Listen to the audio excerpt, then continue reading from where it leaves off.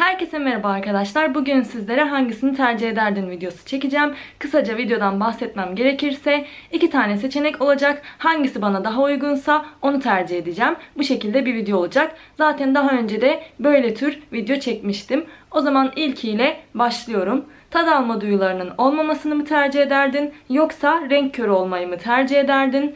Ben renk körü olmayı tercih ederdim. Çünkü tad alma duyularım, tad alma duyularım olmazsa benim için kötü olurdu. Yediğim hiçbir şeyden tad alamazsam hiçbir anlamı kalmazdı benim için yemenin. O yüzden renk körü olmak daha iyi. Zaten hafif bir renk körlüğü var bende. Bunu daha önce hiç söylememiştim ama mesela bir rengi farklı renk gibi söylüyorum videolarda da. Çoğu kişi de fark etmiştir belki.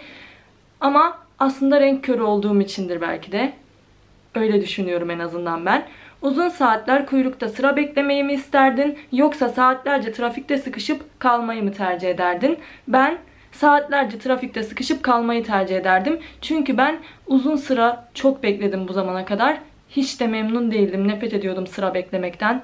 Böyle bankada olsun sıra beklemek, Sinemada bile sıra beklemekten nefret ediyorum yani. Ama böyle dolmuştayken trafikte sıkışıp kalmak benim için sorun olmuyor. Hoşuma gidiyor böyle arabada kalmak, arabada vakit geçirmek benim için.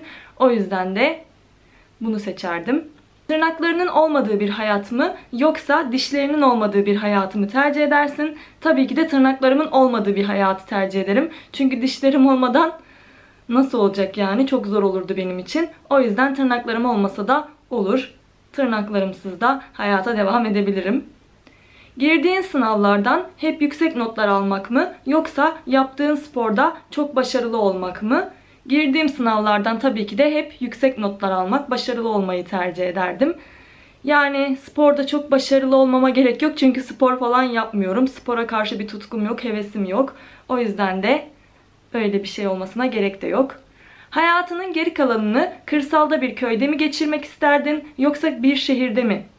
Ben bir şehirde geçirmek isterdim. Çünkü ben küçüklükten beri şehirde merkezde oturan bir insanım. Hiçbir zaman köy hayatını yaşamadım yani. Köyde yaşamadığım için de merkeze alışkın olduğum için de şehirde yaşamak isterdim.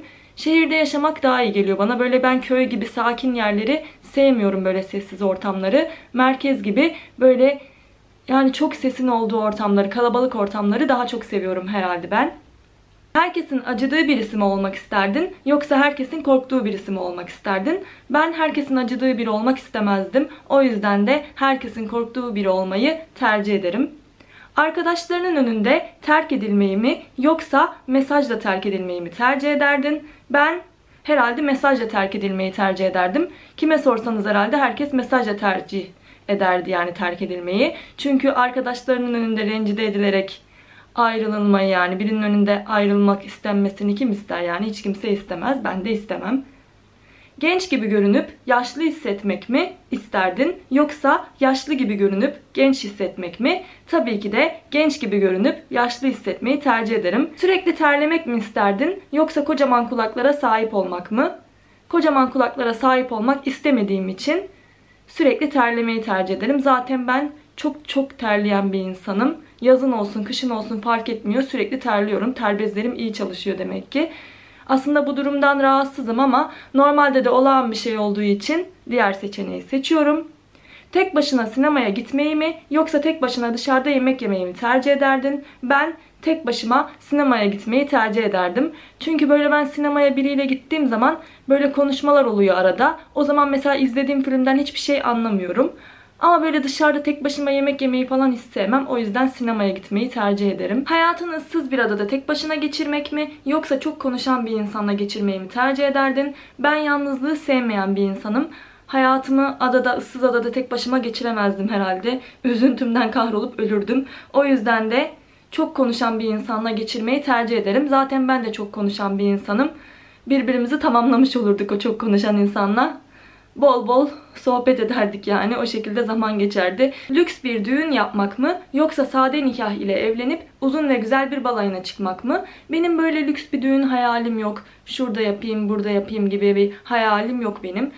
Bu ara zaten böyle sade bir nikah tarzında bir şeyler yapmak istediğim için en uygunu da bu olduğu için bana sade nikah ile evlenip uzun ve güzel bir balayına çıkmak. Bence böyle düğün için fazla masraf yapmayıp tatil için, balayı için böyle ya da başka yerler gezmek için para ayırmak daha mantıklı benim için. Ben bunu tercih ederim. Kendi geleceğinden 10 dakikayı görebilmek mi yoksa başka birinin gelecekteki yaşamından 10 dakikayı görebilmeyi mi tercih ederdin? Ben tabii ki de kendi geleceğimden 10 dakikayı görmek isterdim. Çok merak ediyorum gelecekte neler olacak, neler beni bekliyor falan merak ettiğim için tabii ki de kendi geleceğimi görmek isterdim. Neden başka birinin geleceğini merak edeyim? Çok fakir olacaksın ama insanlara yardım edeceksin ya da çok zengin olacaksın ama insanlara zarar vereceksin. Çok fakir olacağım ama insanlara maddi bir yardım yapamam ama aslında biraz mantıksız bir soru olmuş. Ama yine de cevaplayacağım. Çok fakir olup insanlara yardım etmeyi tercih ederim. Zengin olup kimseye böyle zarar vermek istemem. Ben hiç kimseye zarar vermek istemem yani. 20 yaşında hiç pişmanlığın olmadan ölmeyi mi yoksa 50 yaşında çok pişmanlıkların olarak ölmeyi mi tercih ederdin? Tabii ki de 20 yaşında hiçbir pişmanlığım, hiçbir üzüntüm olmadan ölmeyi tercih ederdim. Zaten ben çok yaşamaktansa erken ölmek isteyenlerdenim yani. Ne kadar erken ölürsem o kadar iyi benim için. Çok fazla uzun yaşamak isteyenlerden değilim ben maalesef. İki katı uzun yaşayabilmeyi mi yoksa büyük ikramiyeyi kazanmayı mı? Demin de dediğim gibi ben fazla uzun yaşamak istemediğim için o yüzden büyük ikramiyeyi kazanmayı çok isterdim. Büyük ikramiyeyi kazanıp ondan sonra herhalde bütün şehirleri, bütün ülkeleri dolaşırdım, gezerdim. Beni kimse evde tutamazdı daha yani. Sürekli bir gezi halinde olurdum. Bu şekilde de parayı herhalde bir sene içinde bitirirdim. Hayatın boyunca hep çocuk olarak kalmayı mı isterdin yoksa yetişkin olarak kalmayı mı? Ben hayatım boyunca hep çocuk olarak kalmayı tercih ederdim. Öyle bir şansım olsa çocukluğuma geri dönmek isterdim açıkçası. Çünkü çocuk olduğunuz zaman hiçbir böyle bir kaygınız yok, bir düşünceniz yok. Öyle akışına yaşıyordunuz. Ben böyle dışarı çıkıyordum çocukluğumda. Oyun oynuyordum arkadaşlarımla falan. O günleri falan özledim açıkçası. O yüzden onu tercih ederim. Anahtarlarını mı yoksa telefonunu mu kaybetmeyi tercih ederdin?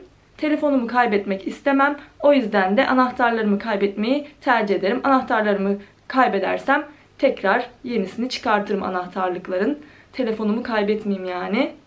O kadar masrafa gerek yok şimdi.